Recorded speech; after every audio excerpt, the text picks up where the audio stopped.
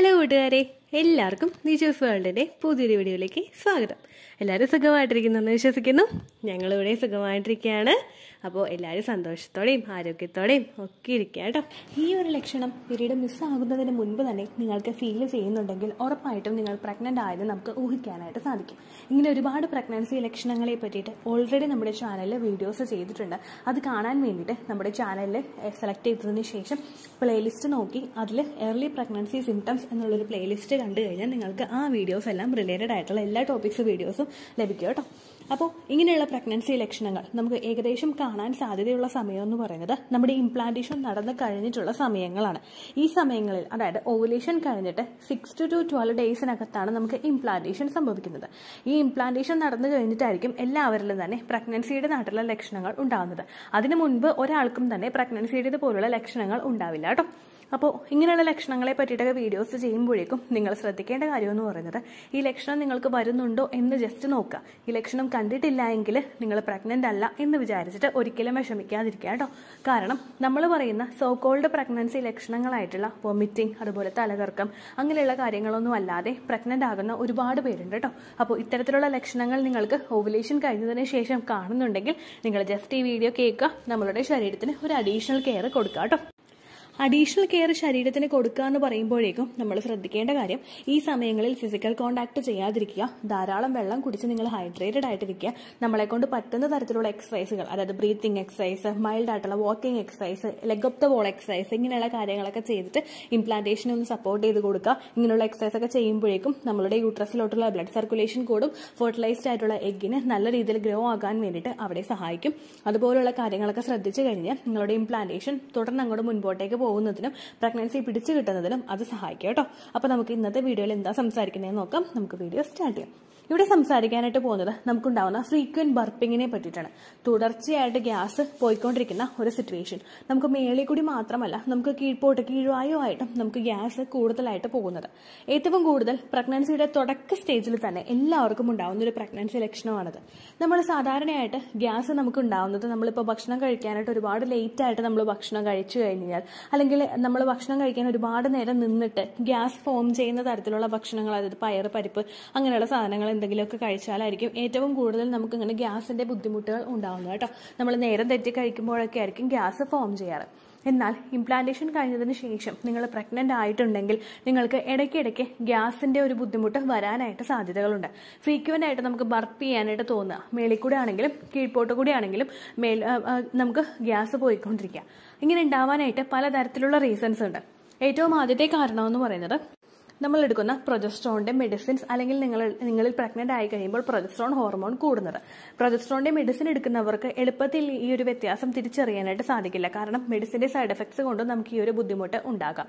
അങ്ങനെ അല്ലാത്തവർക്ക് മെഡിസിൻ എടുക്കാത്തവർക്ക് പ്രൊജസ്ട്രോൺ ഹോർമോൺ നമുക്ക് ഇംപ്ലാന്റേഷൻ കഴിഞ്ഞു കഴിഞ്ഞാൽ ആ ഇംപ്ലാന്റേഷൻ പിടിച്ച് കിട്ടി മുൻപോട്ടേക്ക് ആ ഒരു എംബ്രിയോ വളരണമെങ്കിൽ പ്രൊജസ്ട്രോൺ ഹോർമോൺ അത്യന്താപേക്ഷിതമായിട്ടുള്ള ഒന്നാണ്. പ്രൊജസ്ട്രോൺ ഹോർമോണിന്റെ ഡെഫിഷ്യൻസി നമ്മളുടെ ശരീരത്തിൽ ഉണ്ടായി കഴിഞ്ഞ് കഴിഞ്ഞാൽ നമ്മുടെ എൻഡോമെട്രിയൽ ലൈനിങ് അങ്ങോട്ട് ഷെഡ് ആയി പോകും. നമുക്ക് പീരിയഡ്സ് വരികയും ചെയ്യും കേട്ടോ.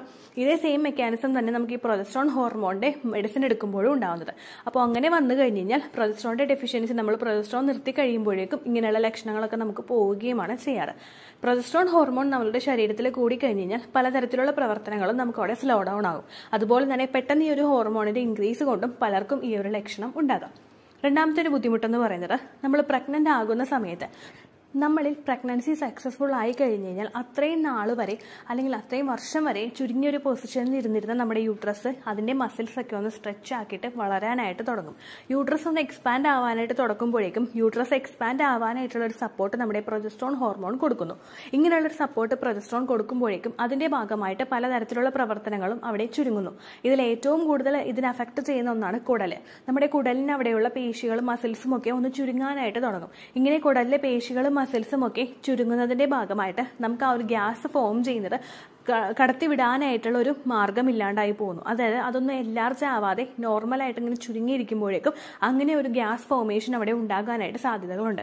ഇങ്ങനെ വരുമ്പോഴേക്കും നമുക്ക് ഫ്രീക്വന്റ് ആയിട്ട് ബർപ്പ് ചെയ്യാൻ വേണ്ടിയിട്ടുള്ള നമുക്ക് ഇടയ്ക്കിടയ്ക്ക് ഗ്യാസ് പോകാൻ വേണ്ടിയിട്ടുള്ള ഒരു ടെൻഡൻസി ഉണ്ടാകുന്നു. സെയിം ഇതേ മെക്കാനിസം തന്നെയാണ് നമുക്ക് കീഴ്വായുമായിട്ട് പോകുമ്പോഴും ഉണ്ടാകുന്നത്. ഗ്യാസിന് പോകാനായിട്ടൊരു വഴിയില്ലാതെ ഗ്യാസ് നമുക്ക് കൂടുതലായിട്ട് തിങ്ങുന്ന ഒരു സിറ്റുവേഷൻ നമുക്ക് ഉണ്ടാകും.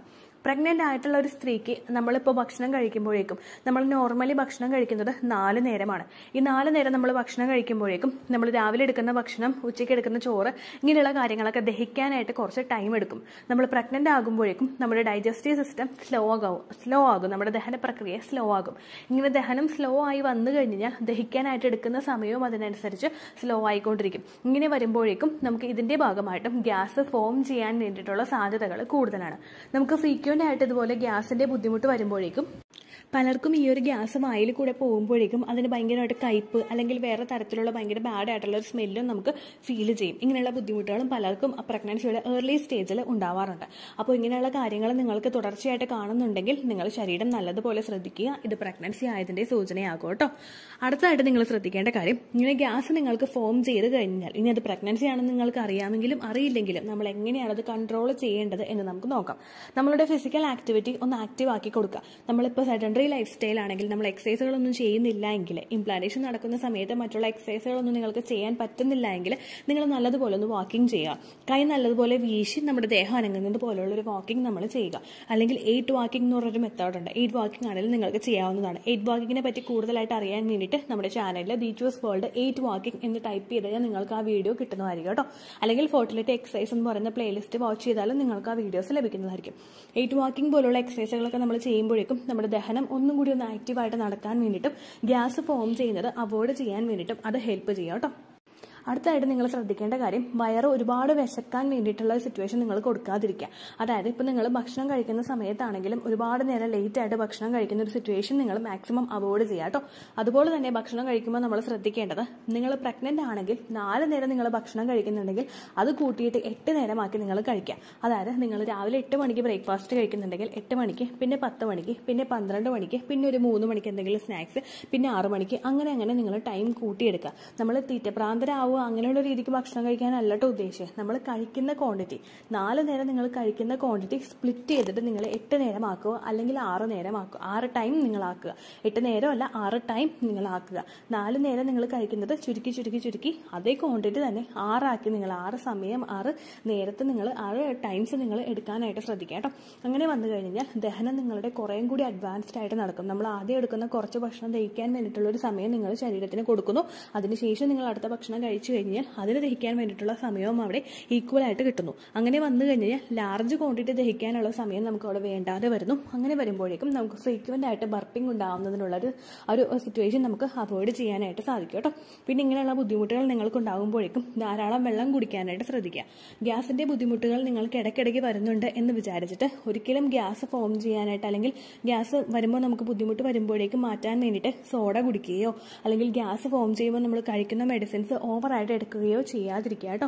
ഒരുപാട് പേര് ചെയ്ത് കാണുന്ന ഒരു മിസ്റ്റേക്കാണ് നമ്മളിപ്പോൾ സോഡയുടെ കണ്ടന്റ് ഒരുപാട് നമ്മളുടെ ശരീരത്തിൽ എത്തിക്കുന്നത് നല്ലതല്ല പ്രഗ്നൻസിയുടെ സമയത്ത്. അതുപോലെ തന്നെ നമ്മൾ അൺവാണ്ടഡ് ആയിട്ട് എന്തെങ്കിലും മെഡിസിൻസ് എടുക്കുന്നതും പ്രഗ്നൻസിയുടെ സമയത്ത് നല്ലതല്ല കേട്ടോ. അതുകൊണ്ട് ഗ്യാസ് നിങ്ങൾക്ക് ഫോം ചെയ്യുന്നുണ്ടെങ്കിൽ ഇങ്ങനെയുള്ള ഹോം റെമഡീസ് നിങ്ങൾ ഫോളോ ചെയ്യുക. അങ്ങനെ നിങ്ങൾക്ക് ഗ്യാസ് കൺട്രോൾ ചെയ്യാനായിട്ട് സാധിക്കും. അപ്പോൾ ഇത്രയേ ഉള്ളൂ വീഡിയോ എന്തെങ്കിലും സംശയം ഉണ്ടെങ്കിൽ നിങ്ങൾ കമൻസിൽ ചോദിക്കുക. പണ്ടത്തെ വീഡിയോയ്ക്ക് കമൻസ് ഇടുന്നവർക്ക് റിപ്ലൈ കിട്ടുന്നില്ലെങ്കിലോ? നമ്മൾ തമ്മിൽ ഓൾറെഡി ഒരു കോൺവെർസേഷൻ ഉണ്ടായിട്ടും അതിന്റെ കണ്ടിന്യൂഷൻ ആയിട്ട് നിങ്ങൾക്ക് റിപ്ലൈ കിട്ടിയിട്ടില്ലെങ്കിലോ ലേറ്റസ്റ്റ് ആയിട്ട് ഞാൻ ഏത് വീഡിയോ ആണ് അപ്ലോഡ് ചെയ്യുന്നത് അതിന് താഴെ കമന്റ് ഒന്ന് കോപ്പി പേസ്റ്റ് ചെയ്യാനായിട്ട് ശ്രദ്ധിക്കുക കേട്ടോ. അതുപോലെ ഓവുലേഷൻ ഡേറ്റ് കാൽക്കുലേറ്റ് ചെയ്ത് തരാനായിട്ട് റിക്വസ്റ്റ് ചെയ്യുന്നവർ എത്രയാണോ നിങ്ങളുടെ കൃത്യം സൈക്കിൾ ലെങ്ത് അത് മെൻഷൻ ചെയ്യാനായിട്ട് ശ്രദ്ധിക്കുക.